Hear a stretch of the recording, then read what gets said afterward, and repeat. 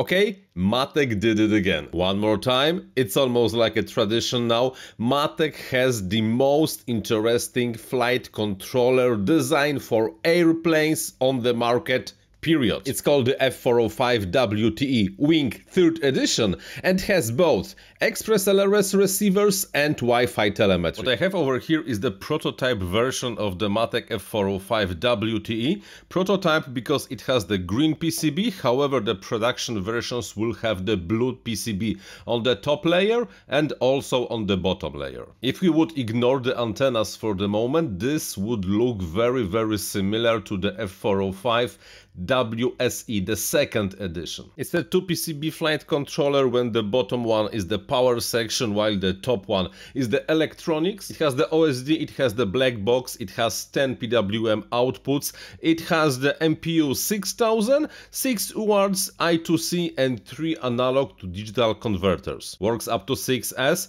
has 132 amps current sensors, has a lot of voltage stabilization, can provide 5 volt 2 amp for the internal electronics. And the peripherals can provide 5 amps yes quite a lot of amps for the servos with 5 and 6 volt option and has 1 8 volt 1.5 amps for the VTX and the camera. And if you would stop over here this would be just another iteration of the wing flight controllers from Matek however because of the two of the 2.4 gigahertz antennas you can see over here this is not all. Originally I thought that this is the diversity receiver, however I was wrong because this antenna is indeed for the internal Express LRS 2.4 GHz receiver. You flash it, you bind it with your Express LRS transmitter and everything works just fine but without the diversity. However, this antenna connected over here is for something completely different because this antenna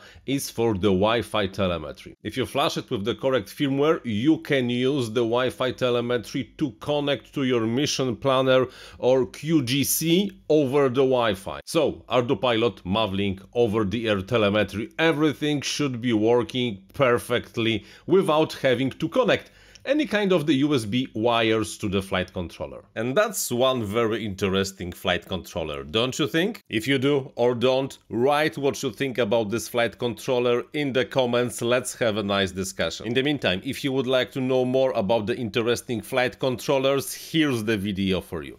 I'm Paweł Spychalski, thank you very much for watching and, like always, happy flying!